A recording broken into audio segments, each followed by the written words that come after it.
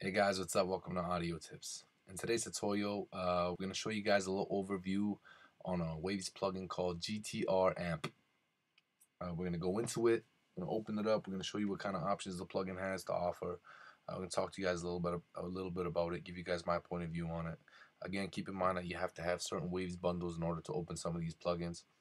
Uh, we're going to go into uh, not they don't come with Logic.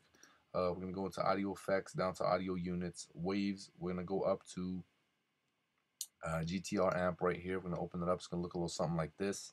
Basically like a guitar amp. Uh, you got your drive, bass, mid, treble, press, volume, pan, phase. You can go up and uh, on and off. Delay, volume, pan. It gives you lots of options, this one. Um, uh, even gives you presets. Um, clean, warm, punchy, whatever you guys want.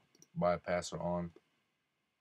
Got your master knob right here. I suggest you guys go in, you know, fool around with it, see what kind of effects you guys can get out of it before I show you guys uh, how to how I use it in the future videos.